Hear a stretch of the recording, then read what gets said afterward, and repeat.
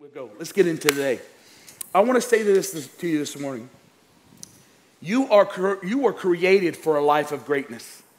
This whole series is about greatness. God never, God never creates you for mediocrity. How many of you believe that? Never creates you that. You were not created to fail. You were created to succeed. And, and it's never too late for any of us because the grace of God, we can get back on track with our lives at any time. It's, it's not because of our power, it's because of the power of the blood of Jesus. Amen? All things are possible. Now, now the world has a definition of greatness. And, and usually that's if you know if you have more money, you're great. If, if you got a lot of power, you're great. If, if you're famous, you're great.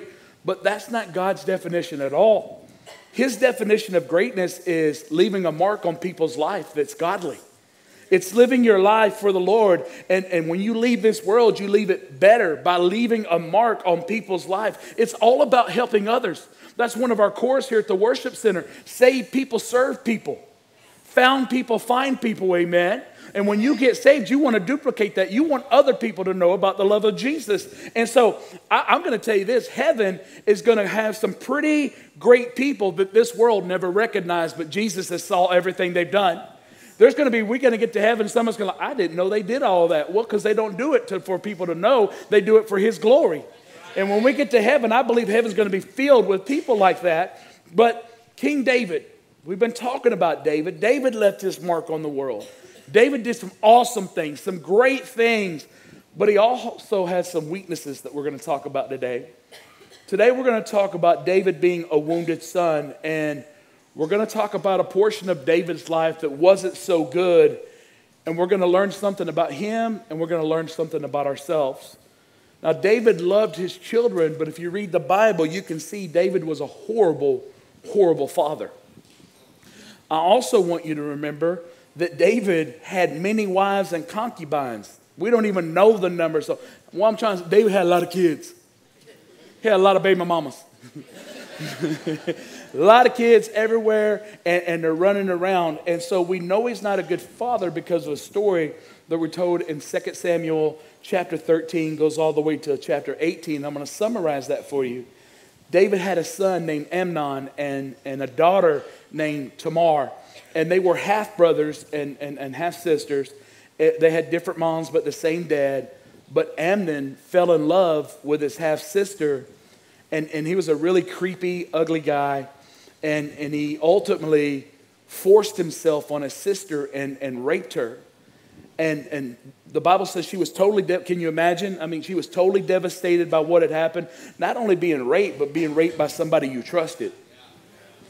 I can't even get into that but it's morning, but lots of things going on there. And she, she tears her clothes, which is a sign of grief and, and brokenness. And, and her other brother, Absalom, which is her full brother, takes her into his house, begins to take care of her, love on her, nurture her, get her back to as best as he can put her back together. But their dad, David, hears about what's happened and he does nothing.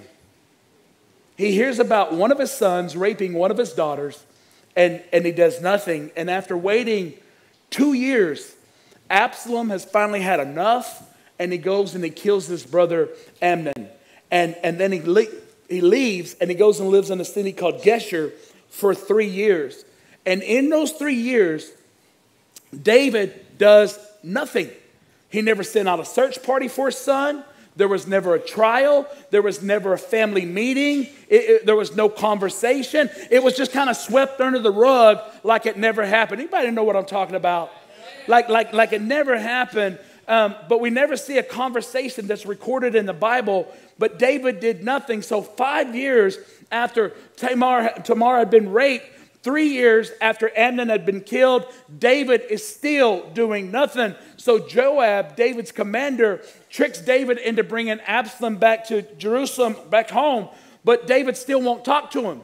He's, he's ignoring him. For two years, this goes on, and Absalom gets frustrated because his sister was raped and his dad's not doing nothing about it. He gets exiled, but he gets brought back, and being, being brought back, his dad won't even talk to him. He won't even see him. So one day he goes, You know what? I'm going to get somebody's attention. and he lights Joab's field on fire. And Joab's like, Man, what in the world is wrong with you? Have you lost your mind? And David says, Why did you bring me home? Did you bring me home so I could be ignored? I was already being ignored. Did you bring me home so that everybody would leave me unnoticed? I was already unnoticed. I want to see my father. I want to see my dad. And so Joab sets up a meeting between the two, but it's too late. Their relationship is beyond repair. You ever heard the old saying, too much water under the bridge? Too much time has passed. David doesn't want to see his son, his son doesn't want to see him. So Absalom hates his father and he has the ability and he turns the whole nation of Israel against his dad, which seems like it would have been impossible because of the kind of king David was. But he turns the whole nation against Israel. David has to flee. Absalom almost gets to David and kills him. David wasn't a good father. David, being a man after God's own heart, you know, he loved his children, but when it came to dealing with issues, he did nothing at all. And sometimes saying nothing's the worst thing you can do. Sometimes you got to confront it, even if it's not easy to confront. We got to talk about this because something devastated happened, and we can't just sweep this under the rug like everything's okay. And you think you're doing somebody a favor by not saying anything. You're, Listen, you're never doing somebody a favor when you can't be truthful. Are you hearing what I'm telling you? I go around somebody, how you feeling today? I feel chubby. Oh, Pastor Todd, you're not fat. You're not helping me. I know I'm big. You got to watch out. You get too big. You start walking, your legs rub together. You're going to start a fire somewhere. I told that in the first service, everybody died. Then you got to go home, put on some powder in there, and then every time you sit down, it looks like a magic show. You know, like. but the sad thing is, nobody disappears. so they thought it was a trick. No, dog, I'm just trying to get through the day. I am trying to get through the day. But here's the question I want to ask you today Why was David such a bad father? Why is he such a bad father? David was the youngest of eight boys. That means he has seven older brothers. And he didn't have a lot of his father's time or attention. And, and we know for sure he didn't have his dad's favor. And you say, Todd, how do you know that? Because Samuel the prophet is being sent to Jesse's house to go anoint a new king. And in those days, it would have just been protocol that they would send a runner ahead of time to let the house know that they're going to be hosting a prophet, a man of God. And so knowing that, Jesse had a decision to make. One of my boys is going to have to stay out in the pasture and tend the sheep. So he decides that David is the least likely to be anointed king. So he sends him back to pasture. And First Samuel says it this way, chapter 16. Jesse had seven of his sons pass before Samuel, but Samuel said to him, The Lord has not chosen these. So he asked Jesse, Are these all the sons you had? There is still a youngest, Jesse answered. He is tending the sheep. Samuel said, Send for him, and we will not sit down until he arrives. So he sent for him, and he brought him in. He was glowing in health and had fine appearance and handsome features. Then the Lord said, Rise and anoint him. This is the one. So Samuel took the horn of the oil and anointed him in the presence of his brothers. And from that day on, the Spirit of the Lord came powerfully upon David. Now, let me say this to you you can't give away what you don't have. You can't give away what you don't possess. If, if, if you didn't get a lot from your parents, you're probably going to struggle being a parent to your kids, which, which our parents are supposed to teach us a lot about our own lives, how to raise our own children, how to nurture, how to resolve conflicts, how to have values, good morals. A lot of that comes from our upbringing. And, and the problem is, what do you do when you have no one to draw from. What do you do when you don't have a parent that's trying to give you? Is, is, is, am I making sense to anybody? What do you do when you don't have that role model? And I, I'm just saying, I think David spent more time with the sheep than he spent with his dad. And anytime you have a fatherless child, society always has to pick up that burden. And, and, David didn't get much time with his dad. And, and according to what I read and how my opinion is this, he was rejected by uh, every male authority figure in his life that we know of. I'm not saying his dad rejected him, but I'm telling you that, that his dad didn't favor him. Not like Jacob favored Joseph. Remember, Joseph had that bad jacket, the coat of many colors. The only other person had a jacket like that was Michael Jackson in the Beat It video. How many of you wanted that jacket in the 80s? I wanted that jacket. It didn't come 4X. I couldn't get it. It didn't come 4X. It came in, in uh, triple skinny. you know, I, I, tried to put that thing on and I, I, split that thing putting an arm in it. But I tell you, if I'd have had that jacket, I'd have had a glove. I'm going to tell you that right now. I had a glove, and I walked up into that schoolhouse, and when that teacher would have called my name for Kevin Todd, uh, I'm straight up. And I'd have had a hat too. I'm just, see how my mind works? Y'all would have loved to go to school with me. I'm telling you right now, we'd have blown some stuff up. But anyway, but, but you know, Jesse was just the opposite with David. And we know if your dad isn't a really good dad, then maybe it's a great thing to have an older brother because an older brother can take that role. But David didn't even have a good older brother. I want to show you this in 1 Samuel 17. David got a job working for Jimmy John's uh, sandwich delivery service. It's in the Bible, read it. It's not called Jimmy John's yet, but it's Jimmy John's. And so he's delivering sandwiches to his brother. And verse 28 says, When Eliab, uh, David's oldest brother, heard him speaking with the men, he burned with anger at him and asked, Why have you come down here today? And with whom did you leave the few sheep in the wilderness? I know you, I know how conceited you are and how wicked your heart is. You, come, you came down here only to watch the battle. Now, you would think in the middle of a war that's about to break out or middle of a conflict that with your brother, you would be a, a little more loving, not knowing if this is the last time you're going to see one another. You would have think there would have been some kind of affection, I would think, but, but after David kills Goliath, they write a song that says, Saul has killed a thousand, and David has killed tens of thousands, and immediately Israel begins to bond with the heart of David. So Saul now because David's anointed to be king, Saul loses his mind. He loses his stuff and he goes into these demonic fits. Then he's trying to kill David. He starts inviting him to the palace to play his harp. And while he's playing his harp, man, Saul's chunking spears at him, trying to take his life. And then he hunts him down, chases him all the way to the desert. And David's having to hide out in caves and anywhere he can get by with. David didn't get, what I'm saying is, David didn't get much of his father. His older brother rejected him, and then the king rejected him to the point he tried to kill him.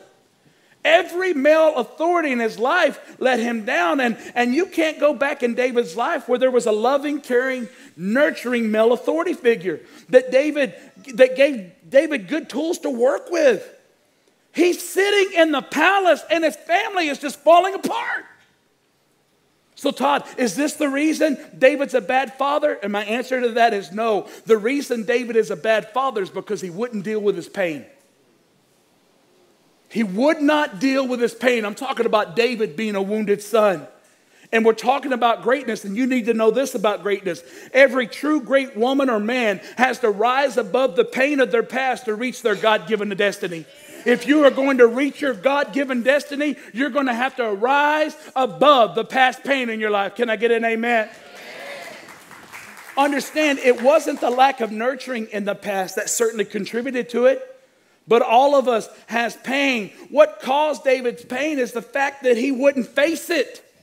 He wouldn't deal with it. He sat silently in the palace while his family is melting down around him. He had advisors, he had priests, he had prophets, he had friends, and he wouldn't talk. He decided to do life alone. He would not talk. There is no such thing. People say it all the time, but I'm going to contradict it. There is no such thing as the strong silent type, but there is the weak silent type. Strong people talk, strong people get it out because they know if I don't get it out, it's going to kill me. I've got to get this poison out. How many of you in your life would say you experienced something that was devastating, not just painful, but devastating? And some of you that, did, that didn't raise your hands, can I tell you the reason you didn't raise your hands? Because you're still in shock and you don't know that you're devastated. Pastor Todd, can that happen? I'm telling you for sure it can happen. We've all had pain. rejection from parents, abandonments, rejection from our spouses or opposite sex, divorce, adultery, death of siblings, death of parents, family members, abuse, physical problem, loneliness. Everyone has pain. And, and, and here are some common things that people do with pain. Here are some of the wrong ways to handle pain. Number one, we medicate it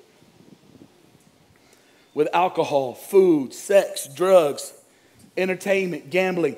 David's family was full of medicators. If, if you try to make the issue, watch this, man. If you try to make the issue out of alcohol or tobacco or one of those things or something like that, that's never the issue.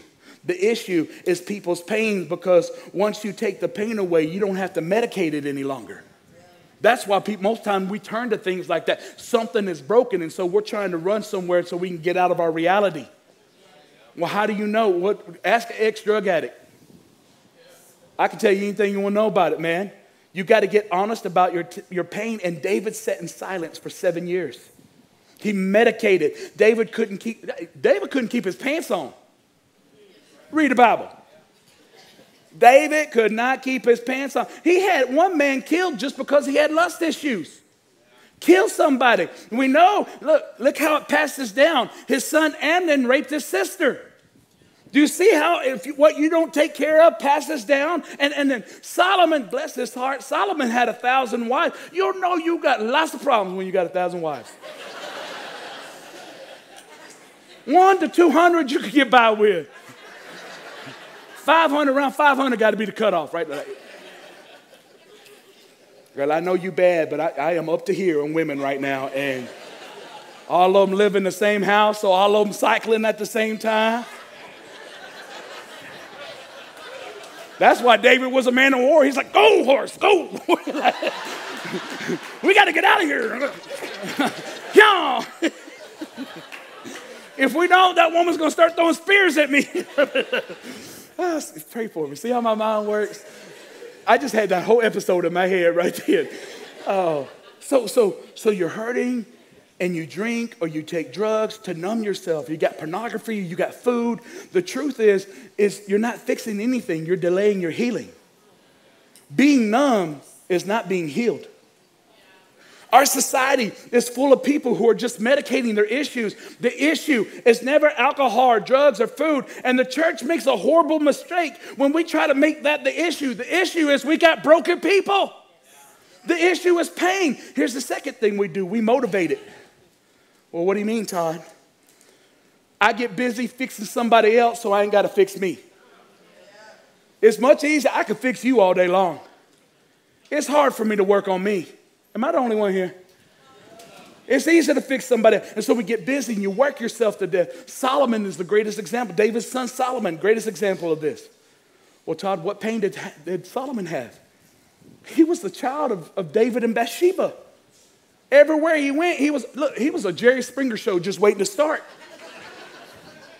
he was a scandal. And Solomon had to kill his own brother to become king because David did such a poor job of setting him up to be king. So he had to kill his brother. And he had so much pain in his life that when he becomes king, all he does is build, build, build, build, and do, and do, and do, and build, and build, and build. All he does is stay busy. And, and people from all the world were amazed at what he did. And they came because he was the richest man in the world and had done great things. But in the book of Ecclesiastes, Solomon is writing, he's talking about all the credible things he does, and this is how he summarized it. Solomon said it was all vanity and striving after the wind. All the things that everybody around the world came to see, Solomon said it was all vanity and nothing. He doesn't talk about the things he does as being the greatest part of his life. He talks about them in the context of the fear of God and keeping his commandments. That's the summary of his life when it's all said and done. See, being diligent means I've done my best and I know when it's time to stop. Stop. But being driven, drivenness means I can't stop. I just got to be a human doing instead of a human being. And if I stop, the reason I got I can't stop, I got to stay busy got, because if I stop, the ghosts show up.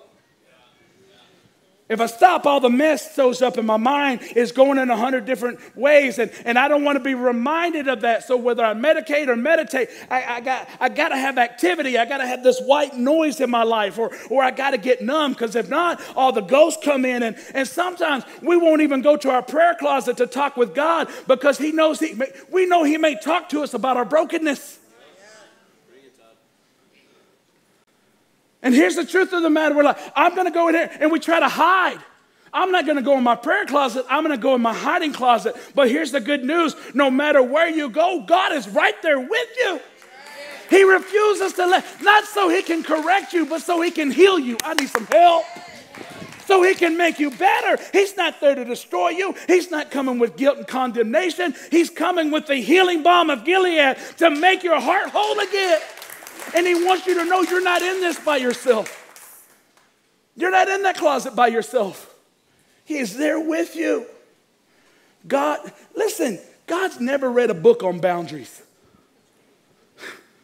You try to hide from God, God said, You going somewhere, I'm coming too.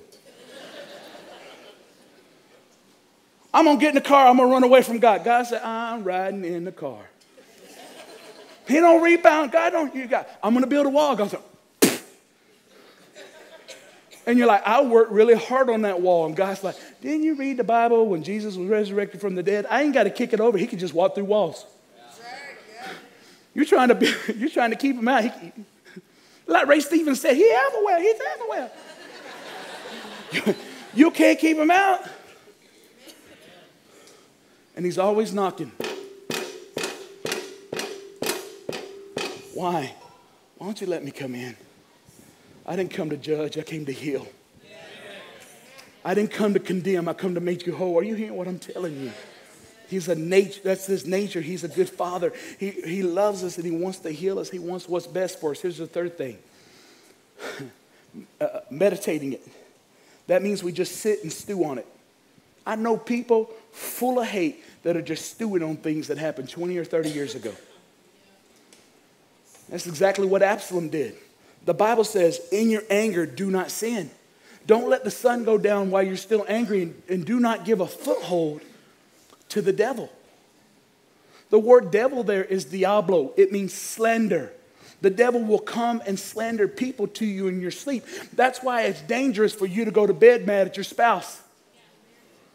That's why it's dangerous for you to go to bed mad at your kids. That's why it's dangerous for you to go bed mad at anybody. You know why? Because de- you give the way for devil to come in and counsel you in your sleep. It's dangerous. Absalom had a reason to be upset about what happened to his sister, but what he did is he let it fester and he let it fester and he went to bed over 700 nights, letting the devil counsel him in his sleep for 700. What did you think was going to happen?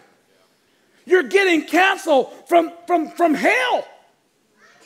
He's not going to tell you to work your marriage out. He's not going to tell you to stand in there when times get tough. He's not going to tell you to say, I'm sorry. How do you know, Pastor Todd? Because he's only got a couple of things he wants to do steal, kill, and destroy. So anytime the devil shows up in your house, it's for those three things, but he'll never show up looking like those three things. Because if he showed up looking like who he was, I see you, you'd be up there. I see you looking like you're looking. He'll never show up there looking like that. He'll look like something you want. Because if you knew it was a rattlesnake, you would never let it loose in your house. Am I helping anybody today? Man, I hope so. I hope so. It caused Absalom to murder his brother. Then he went to bed with his anger to the point with his dad that he wanted to kill his own father and he ran him out of Jerusalem, just meditating it, hating the people who have hurt you in your past. And can I tell you this? It opens the door for demonic oppression.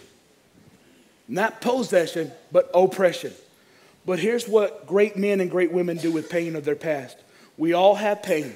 We have all done things we regret. But what great men and women do is number one, they do this they face it. You got to face it. One of the greatest men in the history of church is, the, is, is Paul. But Paul didn't start out great, he started out as Saul. In Philippians 3, he's talking about himself and he says, I was born a true Hebrew of the heritage of Israel. as the son of a Jewish man from the tribe of Benjamin. I was circumcised eight days after the birth, after my birth, and was raised in the strict tradition of Orthodox Judaism, living a separated and devout life as a Pharisee, and concerning the righteousness of the Torah. No one surpassed me. I was without peer. Furthermore, as a fiery defender of the truth, I persecuted the Messianic believers with religious zeal. He's saying, everything I did was not a good thing to do. He's the messenger of grace, and he knew what he did. He murdered Christians. Paul was the one that watched everybody's coats while they stoned Stephen to death. That was his job. Make sure nobody's coat got stolen or nobody's coat got missing. He watched them get stoned to death. When, when Paul got saved, he was on his way to Damascus to go kill more Christians. He was a Pharisee. When we go to Israel, there, there, are Orthodox Jews, and, and they pride themselves in the fact that they are descendants of the Pharisees. And, and, and if you know, you would say, Oh, you're talking about those people with the black hats and the dreidels? Yes, I'm talking about the black hats and the dreidels. Oh, those people are so nice. No, they're not. They're the meanest people I ever met. They're flat out hateful. Well, Pastor Todd, you're just being ugly. I, Call a spade a spade.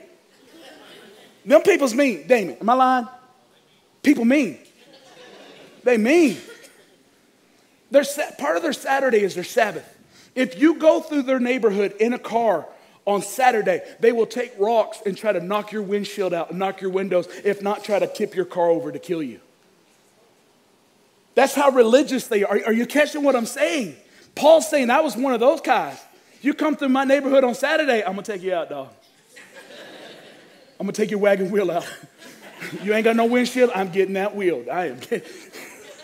I'm taking them dubs with me. I am taking them dubs. They're mean. And, and, so, what I'm trying to say is, Paul was one of those mean, vicious people. He had a ton of pain. You want to talk about being performance driven? Because we think we have to work for God's grace sometimes. I, still real people here? You don't have to work when it's a gift. When it's a gift, you just receive. Like today's my son's 19th birthday. He is ready to receive. He's going to be disappointed, but he's ready to be. Turned 19 today. But you just have to receive. His whole past was totally performance driven. You heard what he said. He goes, Nobody beat me out of this. I was the best of the best. Why? Because he was performance driven. He said, I was a Pharisee, I killed Christians. That's not an easy confession for a man whose whole message was a message of grace. You got to step up and you got to face it. Greatness in the kingdom of God. If you don't hear anything else, I say, please don't miss this right here. Greatness in the kingdom of God is not how many great things you can do for God. Greatness in the kingdom of God begins with how many scars you allow Him to redeem. That He takes your story and gets glory. That He takes your mess and makes it a message.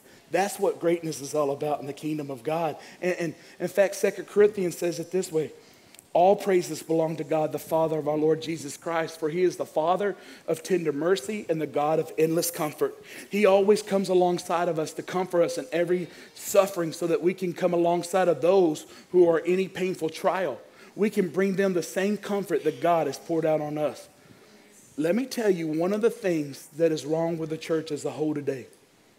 If you take a 20 minute drive from this campus,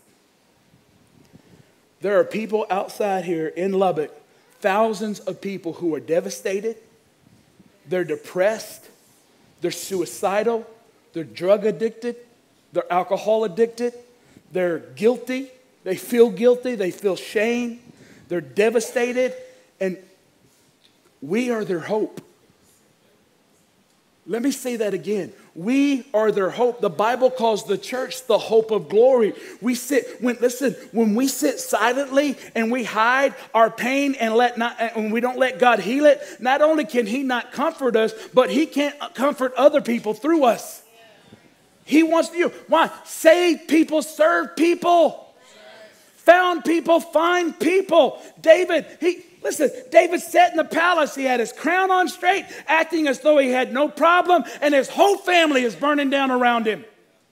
Until he decided, I can't hide from Absalom. He came after him. The worst thing in the world we as Christians can do is sit around acting like we're something we're not. It's okay to be broken. It's just not okay to stay that way. It's, are you, you at the right place? Being okay is okay. It's just not okay to stay there. I've yet to met the person that came to me, you know, my life was just perfect and I just thought I'd give Jesus a try. I just thought I'd give a try. If it could get any better, listen, man, my life was a hellhole. That's why I came to Jesus. Pastor, you shouldn't say stuff like that at church. Well, that's what's wrong with people. Nobody wants to preach truth no more. We want to flower it. My life wasn't, I was a drug addict. I was strung out. There's nothing, there's nothing pretty about a drug addict. Peeing on yourself, vomiting on yourself, that's not pretty. Well, no one talks about that in church. That's because they're afraid if you talk about a church, people will get offended. Well, let me tell you, everybody's already offended anyway. they offended anyway. I'm offended, everybody's offended. It's on my nerves. Everybody offended. I'm offended. I'm offended. I'm offended. Shut up. Dear God. Shut up. You don't ever want to do that? Shut up. That's why I can't be doing drama book. Y'all probably call it Facebook. Nunca. Y'all not sucking me into that. I got novellas. I'm not watching Facebook. I got my stories. I got Young and the Restless. I am not getting on Facebook. Pastor Todd, do you watch Young and the Restless? That's my guilty pleasure. I've watched that since I was seven. And I'm concerned right now because Victor is sick. Y'all need to pray for Victor. But anyway. and Nick and Adam are fighting again. They need peace in the name of Jesus. So the worst thing we could do is. I know Pastor Jackie's not preaching this at Church on the Rock. I know he is not. but he knows I watch it and he's my spiritual dad. So he calls me for the clips. I'm just playing. He does not do that. So listen, man. We are people that have been redeemed by Jesus. Let's step up and act like it. We are people that's been made whole. You may not be totally put back together, but you're on your way. And quit hiding. Quit hiding from the inevitable. What's the inevitable? Save people, serve people. Grow in people change. Do something you've never done. I'm not ashamed of my past anymore. That's who I was. That's not who I am. What I've done is not who I am. My story is God's glory, and I give Him all the praise. Listen to me. No one can reach people like people that have been redeemed. And I will tell you this never follow a general that doesn't have scars, but our general has scars in his hands and his feet, and he's alive forevermore. Hallelujah. Why do I need to get healed? Because what doesn't get healed gets passed down. You'll give it to your kids and their kids and their kids. Second thing great people do, and I'm almost out of here, they forgive it and they forget it. Watch this Philippians 3. I admit that I haven't yet acquired the absolute fullness, fullness that I'm pursuing, but I run with passion into his, uh, his, his abundance so that I may reach the purpose that Jesus Christ has called me to fulfill and wants me to discover. I don't depend upon my own strength to accomplish this. However, I do have one compelling focus. I forget all of the past as, as I fasten my heart to my future instead. I run straight for the divine invitation of reaching the heavenly goal and gaining the victory prize through the anointing of Jesus. So let all of us who are fully mature have this same passion. And if anyone is not gripped by these desires, God will reveal it to you. Forget those things that are behind and pursue those things that are ahead. Now, the word forget doesn't mean to erase from memory. We can't do that. And, and Paul didn't do that. It means to ignore and not let it have power over you anymore. The mother of all issues as related to our past is all about forgiveness, whether it be our family or co-workers or church people. Sometimes church people, the meanest people you're gonna meet. They just mean in the name of Jesus. And I'm like, that's not Jesus, that's El Diablo. you need something. Let me. But if we don't forgive God, uh, if we don't forgive, God won't forgive us. And look, let me take it a step further. This is not my opinion, this is Bible. The Bible says in Matthew, Jesus tells a story about a man who would not forgive, and it says that he got turned over to be tormented. When you refuse to forgive, you open yourself to be tormented. And, and can I tell you something? Unforgiveness is torment. because you live with it every day. And until you let the past die, it will not let your future live. You have to forgive, even yourself. You've, you've done all, all kinds of things in your past, but the blood of Jesus washes that away.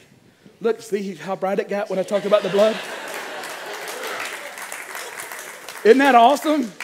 Dude, I didn't even mean for that. Good job, guys. Awesome. The blood of Jesus is better than Clorox. Come on, somebody. It's better than a Tide Pen, I'm telling you right now. You got to believe that the blood of Jesus is more powerful than your sin, and it is. How do you know, Todd? Because the Bible, the Bible says this where sin does abound, grace does much more abound. Grace has the power to set you free. Listen, forgiveness, this is a powerful point. Forgiveness doesn't make the other person right, it just makes you free. It only takes one person to forgive, it takes two people to reconcile. Y'all look so good. Oh, never mind. Uh, there you go. Now they're back there. This little light of mine. Anyway, just because you forgive them doesn't mean you got to let them back in your life, though.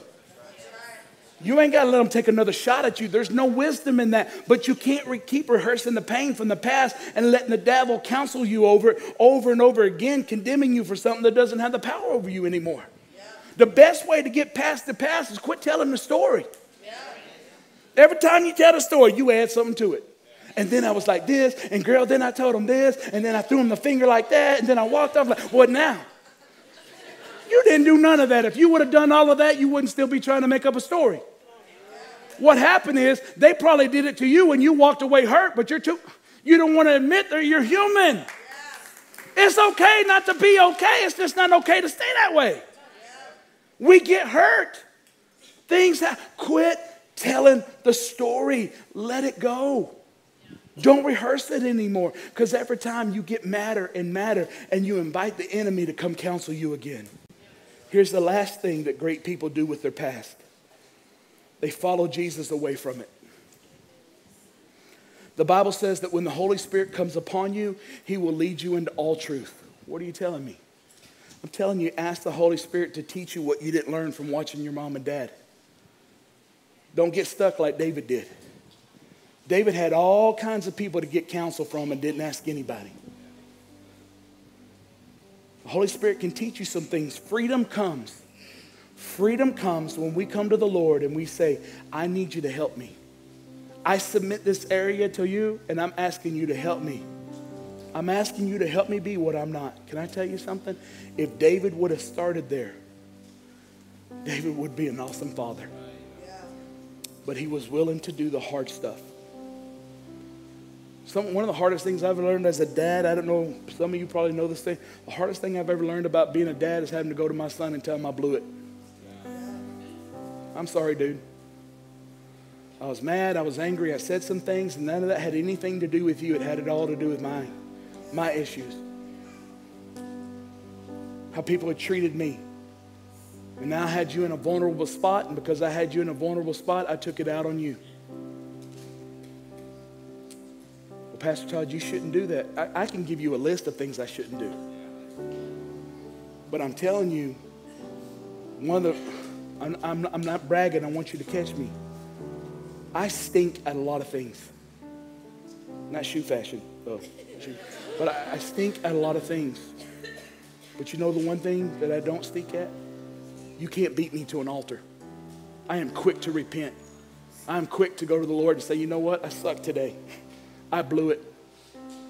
I said some things to my wife that I wouldn't even say to strangers, and I said to somebody that I'm supposed to live with for the rest of my life. Why is it I can treat strangers better than I treat my own wife? I'll do things for other people. Sometimes I don't do in my own home. I'm off balance. I got to go to the Lord and say, God, I'm off balance. All of you guys are great. I'm glad you're here this morning. But listen, if, if all you guys keep coming, keep coming and I lose my marriage, then what was it for? It's okay to own it, man. It's okay to own it. And this morning, maybe you're here, maybe you've dealt the pain, or maybe you've received the pain. Doesn't matter. Because after you hear a message like this, if you stay broken, it now becomes a choice. You have chosen to live this way. See what some of you can't see in the spirit realm? You ever have people say, man, there's a fourth dimension, the spirit realm that nobody can see or some people can see? Can I tell you, in the fourth dimension, there are a lot of you that are here this morning in orange jumpsuits. You got your slides on. You got your number on the back of your jacket there. You're in prisoner. You're a prisoner and you don't even know you're in prison. Because of something that happened then is keeping you from walking in your now. And you don't even recognize it. You don't even realize it. But you showed up bound up, but you don't have to go home bound up. You showed up with a number, you don't have to leave with a number. You can leave with a name that nobody else can give you but Jesus, according to the book of Revelation. He has a name for you that nobody else knows but you and Him. Mine's probably Megatron, but I don't know that. But here's what I'm trying to tell you just because you're in church doesn't make you free. It doesn't make you whole. How many got a garage in your house? You ever, start, you ever stood in that garage and became a car? Coming to church don't make you whole, but coming to Jesus will. Coming to Jesus will. So here's what's on the table today freedom freedom from being a wounded son or a wounded daughter so we don't grow up like David. And we can change that at any moment and at any time. The best I learned visually, I will go to a movie where people are fighting and blowing themselves up, and I will be there bawling because the Holy Spirit is speaking to me in a movie. And one of the greatest movies I've ever seen, I'm, I'm not telling you go out and rent, there's some stuff in it that's rough, but one of the greatest movies I've ever learned about freedom is Shawshank Redemption. And in Shawshank Redemption, Red, Morgan Freeman gets out of jail and he gets a job sacking groceries. And he's sacking groceries. All of a sudden, I got to go to the bathroom. And he, boss, hey, boss, bathroom break? Bathroom break, boss? And, and the manager is just mortified that he's yelling, Can I go to the bathroom? And he walks over to him and he says, Son, you, you don't have to ask permission to go to the bathroom. You can go to the bathroom anytime you want to. And Red says to himself, I've been locked up so many years that I can't even squirt a drop of water unless somebody gives me permission to go. What I'm telling you is you can be free and still be locked up. He didn't know that he had freedom. He didn't know San Juanito was waiting on him. You hear what I'm telling you? And what I'm trying to tell you, there's a better side waiting for you. There's a future that is just waiting on for you to get there because you were created for greatness. Every head bowed this morning.